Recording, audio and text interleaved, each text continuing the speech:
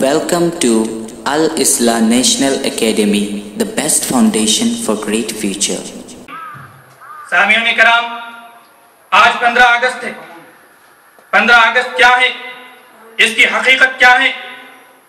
ये तारीख ऐसी तारीख है जिसकी जिन्हें जिसमें हज़ारों खूनी दास्ताने सैकड़ों खौफनाक वाक़ा लाखों दर्दनाक कहानियाँ और बेशुमार अलमंगेर बातें कुशीदा है। हमारा मुल्क, हिंदुस्तान जिस पर मुसलमानों ने सदियों हुकूमत की, अदल इंसाफ की हुकूमत, प्यार मोहब्बत की हुकूमत उल्फत अकीदत की हुकूमत, लेकिन इंसाफ का दामन मुसलमानों के हाथ से छूट गया। प्यार मोहब्बत के अल्फाज मुसलमानों ने बुला दिया। उल्फत अकीदत अदावत की बुग्स, की परछाइयाँ तो इस मुल्क में अंग्रेज़ों ने कदम रखा। सामिन कराम पहले पहले तिजारत शुरू की ईस्ट इंडिया कंपनी के नाम से। हिंदुस्तान में अपनी इकतसादी हालात खूब मज़बूत की। फिर क्या था? पैसे की रेल पे सियासत में दाखिल होना आसान हो गया। धीरे धीरे सियासत में ऐसे दाखिल हुए कि हुकूमत की कुर्सी पर भी कब्जा हो गया। अब क्या था?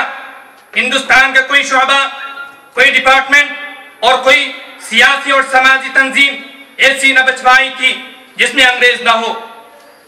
हर शोबे, हर तंजीम, हर डिपार्टमेंट आला वहदे पर अंग्रेज़ी बेटा मिलता था। आज 15 अगस्त बेहद खुशी का दिन है, क्योंकि आज यौम आज़ादी के इस खूबसूरत मौके पर हम और आप उन तमाम मुहिबान वतन की बारगाह में खराज अकीदत और तकसीम करने के लिए जमा हुए हैं।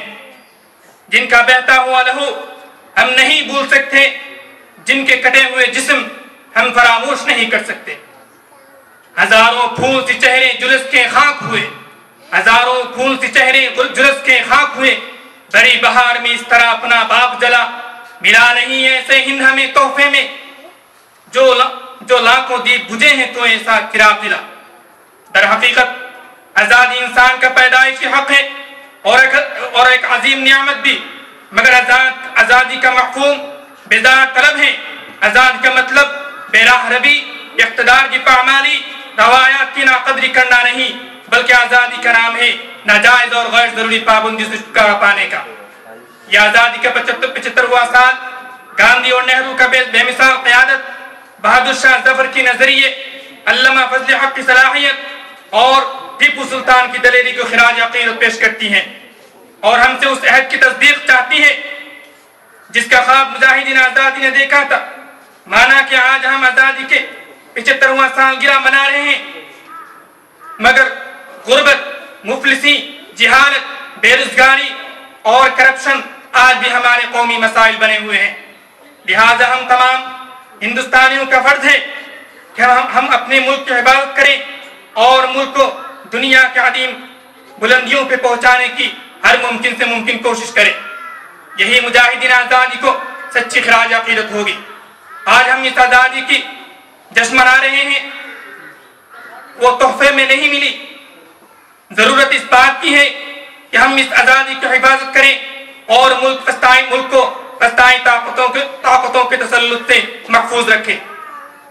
अगर ऐसा नहीं किया तो हम उस हिंदुस्तान में होंगे, जिसकी तस्वीर कशी करते हुए शायरी मशरक अल्लामा इकबाल ने की थी, रुलाता है तेरा नज़ारा, ए हिंदुस्तान मुझको, रुलाता है तेरा नज़ारा, ए हिंदुस्तान मुझको इबरत खेज है तेरा फसाना सब फसानों में, वतन की फ़िक्र कर नादा मुसीबत आने वाली है, वतन की फ़िक्र कर नादा मुसीबत आने वाली है इबरत तेरी बर्बादियों के मशवरे हैं आसमानों में ना समझोगे तो मिट जाओगे, ए हिंदुस्तान वालो। ना समझोगे तो मिट जाओगे, ए हिंदुस्तान वालों। तुम्हारी दास्तां तक भी ना होगी दास्तानों में। जय हिंद।